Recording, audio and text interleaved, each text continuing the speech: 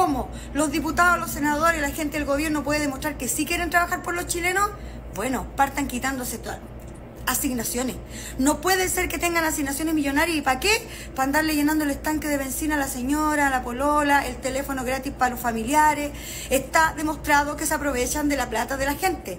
No todos, pero sí hay. Y de todos los lados políticos. Y a ustedes, señores, dejen de pelear de no el de la izquierda, no el de la derecha robo, no los de la UDI son más ladrones, no los del PC son más ladrones. En todos los partidos de nuestro país hay hueones sinvergüenzas, descarados y ladrones. En todos.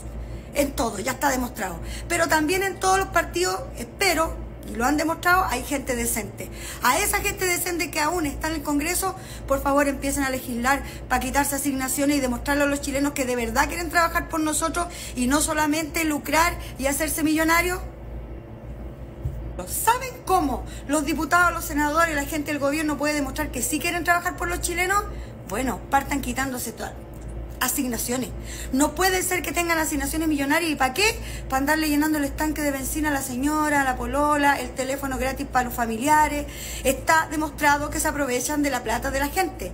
No todos, pero sí hay. Y de todos los lados políticos. Y a ustedes, señores, dejen de pelear de no el de la izquierda, no el de la derecha robo, no los de la UDI son más ladrones, no los del PC son más ladrones. En todos los partidos de nuestro país hay hueones sinvergüenzas, descarados y ladrones. En todos en todo, ya está demostrado. Pero también en todos los partidos, espero, y lo han demostrado, hay gente decente. A esa gente decente que aún está en el Congreso, por favor empiecen a legislar para quitarse asignaciones y demostrarle a los chilenos que de verdad quieren trabajar por nosotros y no solamente lucrar y hacerse millonarios.